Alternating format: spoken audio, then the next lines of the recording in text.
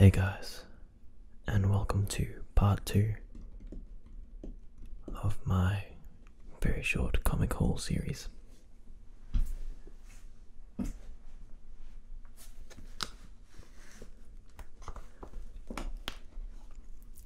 It hasn't been uh, entirely that long since I did the first part,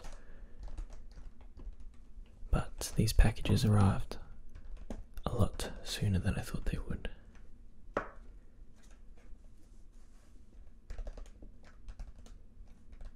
So I ordered a few books from Amazon, a few off eBay, and a couple from a comic shop in Sydney. Sorry, one from a comic shop in Sydney.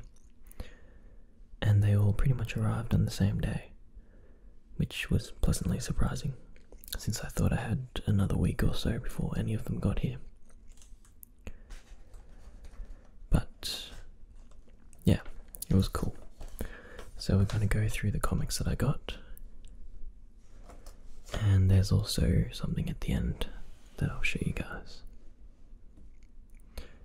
So all these books here I got from Amazon, and it was uh, around about 150 200 dollars. But I'd been working on that lately, so I had a little bit of money to spare. So this first one is uh, Spider-Man: The Vengeance of Venom. These are all trade paperbacks, and it's a collection of a few different Spider-Man comics that feature Venom. So I believe actually this first, yeah, this first uh, comic it looks like is the birth of Venom, or a very quick recap of it. But um, yeah, this one's sort of the older comics from Spider-Man, a collection of them.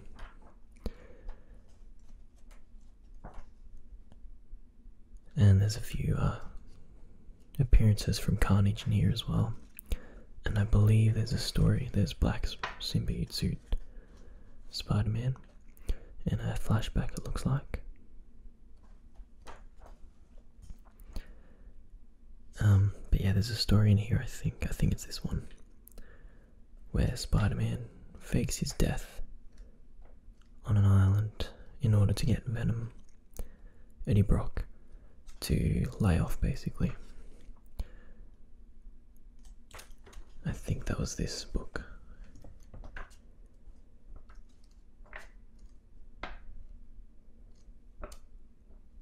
See if I can. There's like a, uh, basically a skeleton wearing the Spider Man suit. I'm not sure where he got a skeleton on a deserted. There it is there. Okay, so he's found a graveyard, I think. Yeah, there we go. Found a graveyard on a deserted island somehow and fakes his death so that Eddie Brock will just chill on this island forever. So, yeah, that's just a collection of old Spider Man comics, which will be pretty cool to read through. This one is like. I'm not sure if it was actually. Okay. Collects Venom vs. Carnage 1 to 4 by Peter Milligan. And I really like the art in this one. As you can see, it's a lot more jagged and pointy and uh, sort of wild. A lot sharper and deranged. And this story is. It's not super dark, but it's a bit more serious. It's about. Um, it's not so much Venom versus Carnage like it implies. It's more. Um, Venom and Carnage versus Toxin, which is Carnage's offspring, as Carnage is Venom's offspring. And it's got a bit of a sad ending, like nobody dies or anything, but this policeman here who becomes Toxin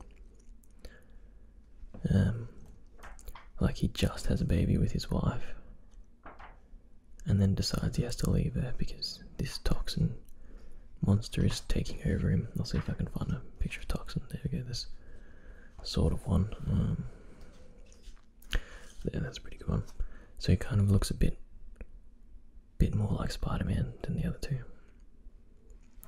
And he tries his best to control it, but he's scared that he'll hurt his wife and child if he somehow does not control toxin.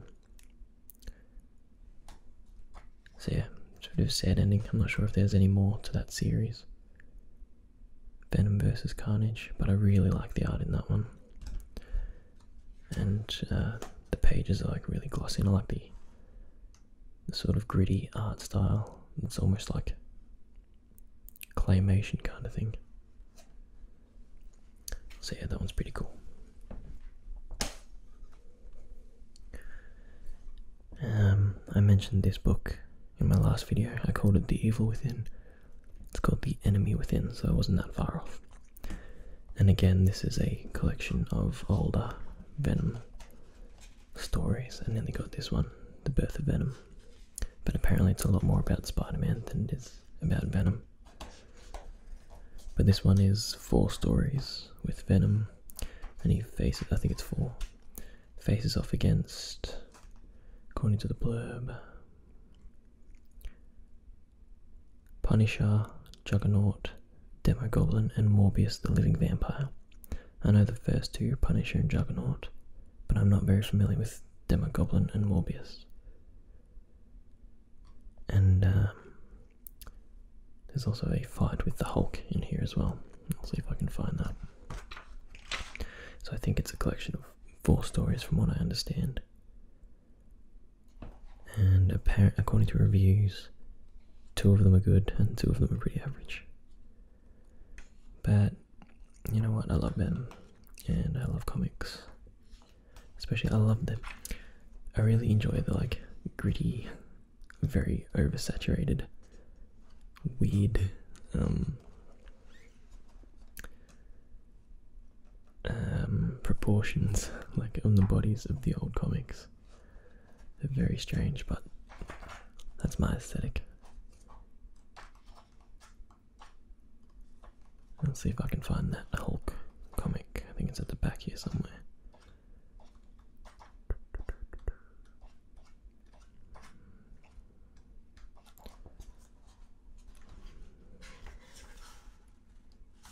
There we go. There's Venom fighting the Hulk.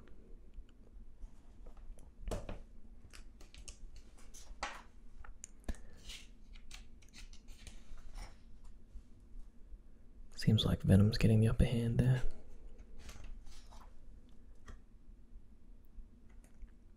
But Hulk has figured out that the uh, symbiote suit is is uh, weak to loud sounds and fire. Or loud sounds at least.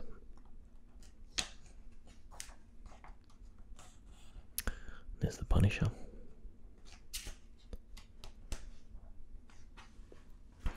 So yeah, that'd be pretty cool to have a look at. Apparently Lethal Protector is pretty good as well. And if I get through all this, I'll I might order Venom Lethal Protector. But I like that front cover. I love seeing all the different artistic impressions and uh, you know adaptations of Venom. Next up we have Venom Volume 1 by Rick Remender. That's the guy I was trying to remember in the last video. And um, this is basically the first 20, maybe. No, 12. Okay. First 12 issues of the most recent Before Venom Space Knight uh, series of Venom comics, where it's mostly Agent Venom. So it's Flash Thompson as Agent Venom. And as I said, I'm not a huge Agent Venom fan, but I have noticed that about halfway into the book, regular Venom makes an appearance and is in it for a little bit. Um, pretty sure he turns back to Agent Venom though. Ooh, look at that one. He's trying to desperately to rip the suit off. It's grim. But yeah, apparently Rick Remender does a uh, a huge service to the Venom character. Look at him there. Looks like Hulkbuster Venom or something. Goodness. I'm pretty sure there's actually a story where the Red Hulk bonds with the symbiote suit to become Venom Hulk, and also has a bond, less of a physical bond, but a bond with uh, the Spirit of Vengeance, so it becomes Ghost Rider, Red Hulk, uh, Venom. And wouldn't that just be terrifying? That sounds absolutely disastrous. And uh, there's also a, uh, a what if comic at the back where the Venom symbiote bonds with uh, Deadpool instead of Spider Man. And it actually looks a. I'm sorry, it might be Deadpool instead of Eddie Brock. It's one of them anyway. Um, looks a bit different to the Venom pool from Marvel Contest of Champions, though. looks really weird with the curls and everything.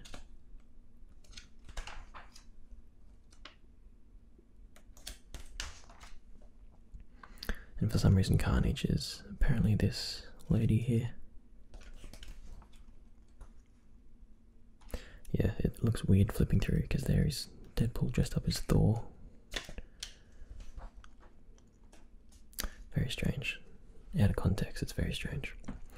So that's volume 1. It collects 1 to 12 of uh, Venom by Rick Remender. And this is volume 2 that collects 13 to 13, 13.1 to 13.4, and 14 to 22. So basically, nine more uh, volumes, and there's the Red Hulk. Oh, it might be in this.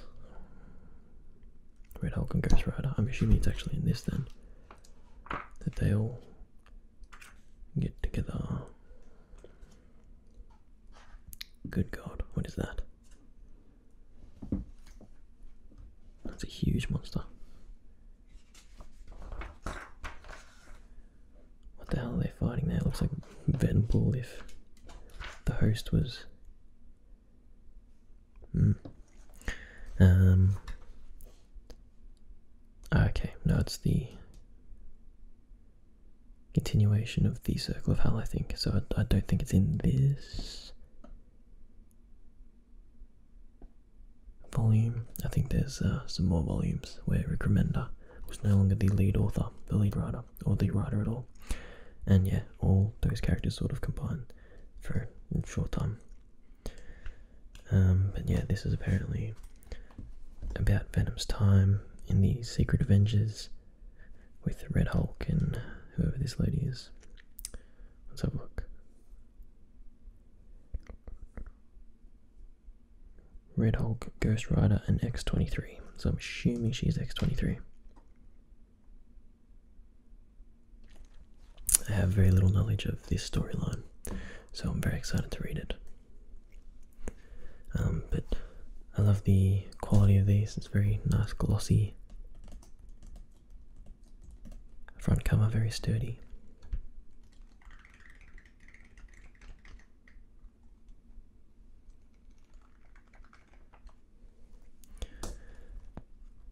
And I really like the, the thick, glossy pages as well.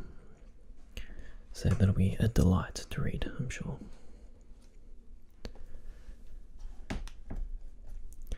The only problem is, since I only got the first 22 issues of those Venom comics, um, who was then continued by um, another writer who, whose name I've read but not can't remember. I would then, to continue the whole story, I would have to get all his collections, and I don't believe that all those collections exist. I think there's one for the end where the female Venom suit character uh, Mania is introduced. It's all Killers of a Soul or something like that, something to do with killers in the title. But yeah, it would be a, a daunting task to try and get the rest of them. Okay, next up we have my package from eBay. All those early comics were from Amazon. Um, I've already opened these in the interest of saving time and uh, not being too loud, and also wanted to have a look at them.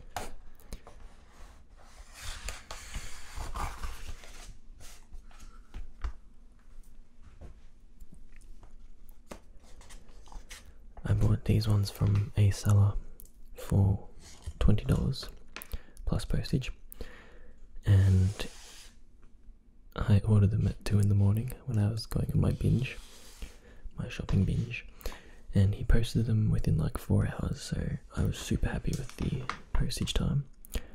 And he wrapped them very carefully. He had that original packet, he had this one, which was wrapped between two pieces of cardboard. And then he had more cardboard on the inside.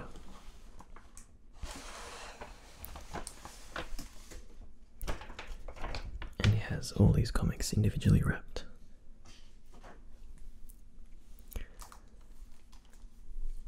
And they're in really good condition from what I can tell.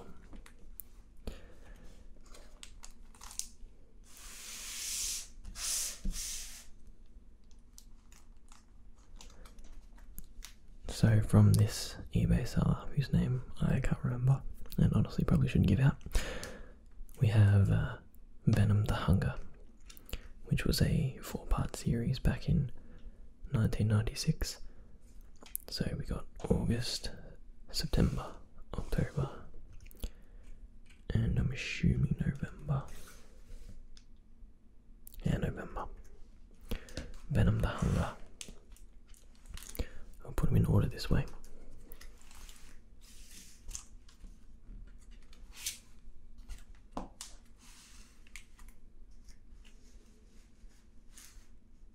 Can't really see them all anyway, but that's okay. So we have number one is City of Dreams.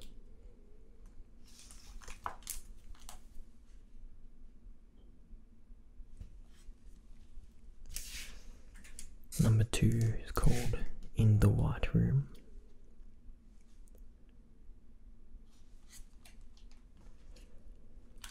Number three called Bug Hunt.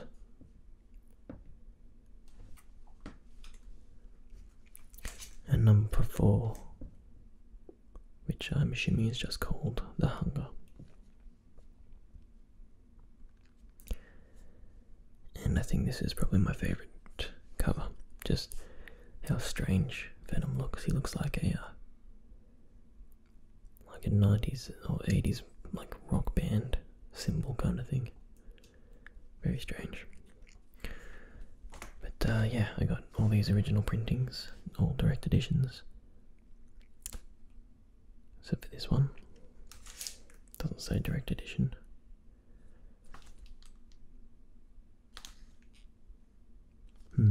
Not sure. Anyway, good enough for me. And they've all got a very nice plastic case, and there's an ad for Spider Man pasta. So hot, it's practically radioactive.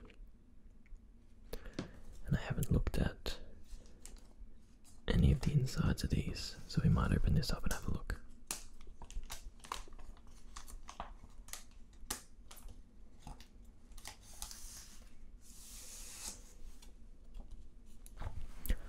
So there's a tiny little bit of wear at the edges, but honestly, I'm not expecting to get any money for these any day or anything, so let's get these out of the way.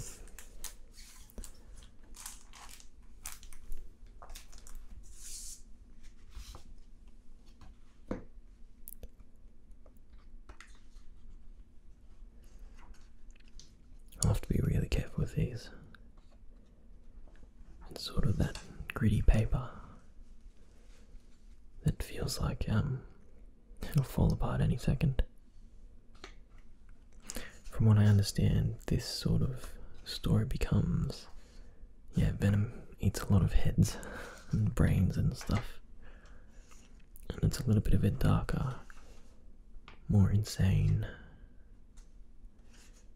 take on the Venom character. Also seems to be in space.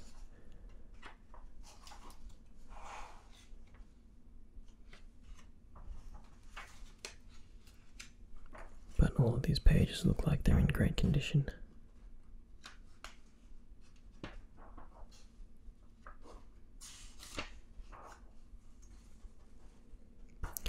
And I aim to keep it that way.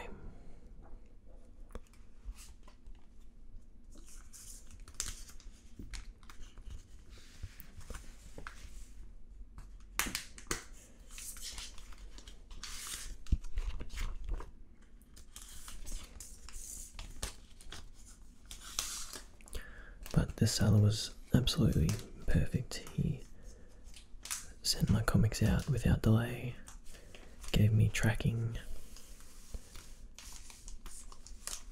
He wrote a little note saying enjoy, which I charming. And I was very happy with my purchase, and I'm going to leave a very positive review for him.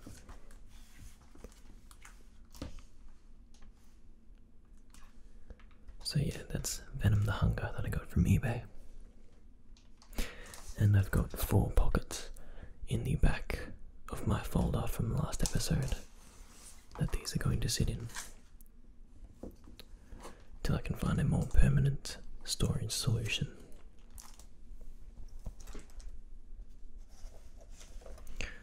Okay, the last thing we have to look at today is just one more comic that I ordered from Sydney.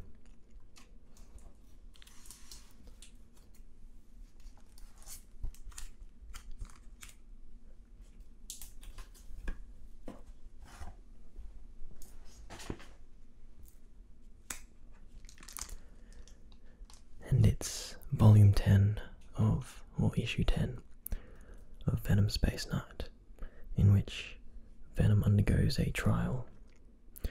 Um, there's a fair bit of cool fighting in it between Klyntar, and it's revealed that part of Venom was not cleansed by the uh, the Klyntar back in Guardians of the Galaxy, which is why he is still struggling with his rage. So this was the edition that my comic shop couldn't get in for me. I'm still waiting for issue 5, which I haven't read yet. And once I get issue 5, I'll be all caught up until the next issue comes out.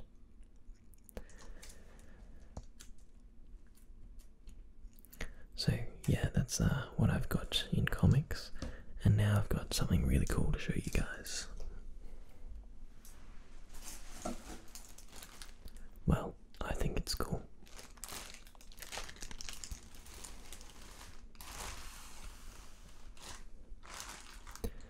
I have a Venom print t-shirt. It's just a black shirt with the the spider imprinted on it. And uh, been waiting to do a video of it before I opened it. Because it has crinkly paper on it.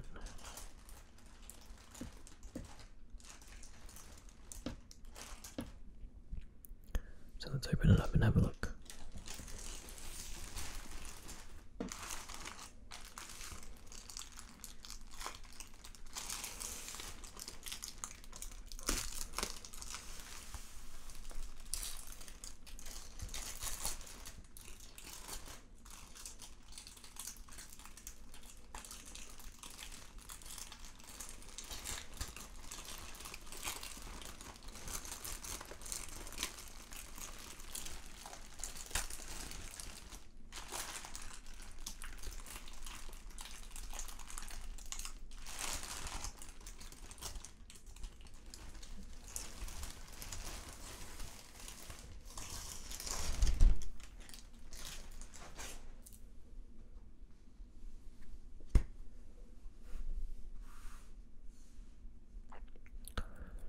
So I read a review, a few reviews actually, on this shirt.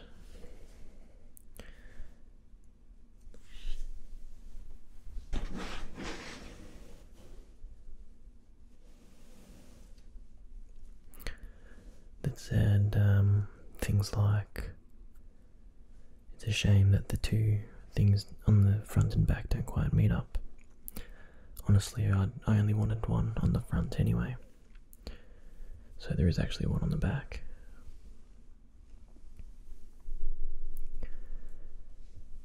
And there was another review that someone got a shirt, it looked terrible. This was the image on the item, but for some reason they got a shirt where the spider was like this big, just in the middle of the shirt. And I was like, that's super weird, please don't let that happen to me. And I figure I won't be wearing this without something over the top like a long sleeve shirt, so no one will see that anyway. Or a jumper. But um it feels like solid material.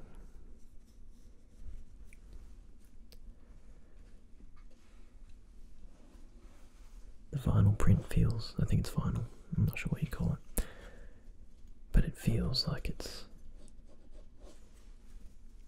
on properly, it's not just ironed on in someone's kitchen or anything.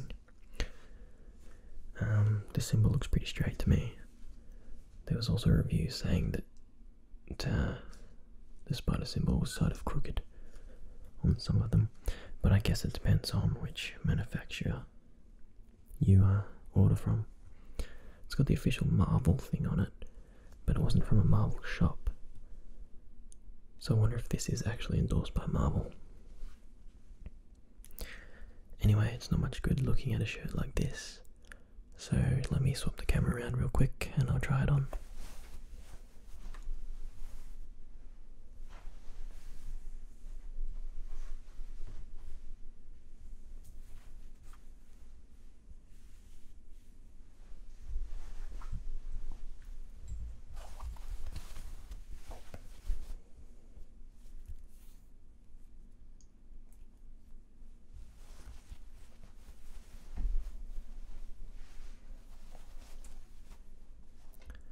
So I've got the shirt on now, and it's it's pretty comfortable.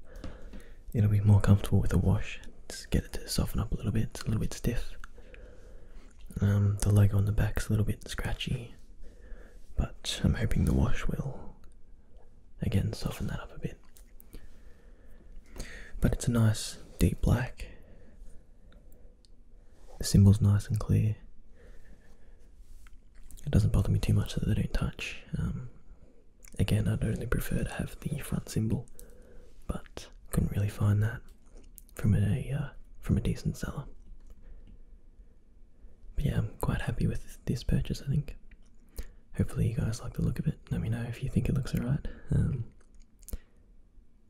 you know, it's gonna look good. Otherwise, what's the point in buying it?